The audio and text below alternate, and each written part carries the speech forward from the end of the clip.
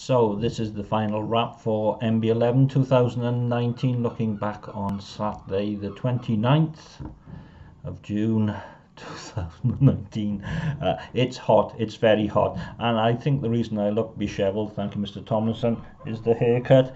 It, my hair's gone wild. I know there's not a lot of it but it's gone completely wild. So that needs to get cut off. Plus I haven't shaved um, but contact lenses in.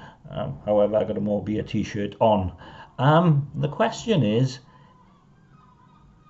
do we sell cask ale when the temperatures go up? The reason I ask, um, spoons, Thursday, Friday and Saturday, five hand pumps, including the obligatory Doom bar, and none of them changed, none of them went off.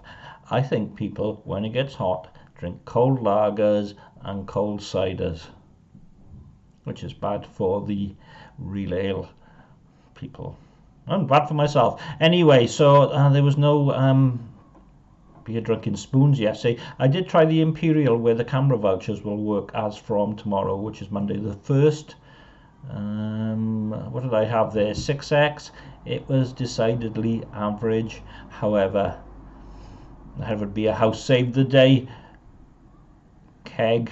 Although I didn't have any keg, I drank them all basically on Thursday. Um, I went straight to the fridge couple of Germans, a couple of Cloudwaters, uh, all very refreshing, nice and cool, very friendly.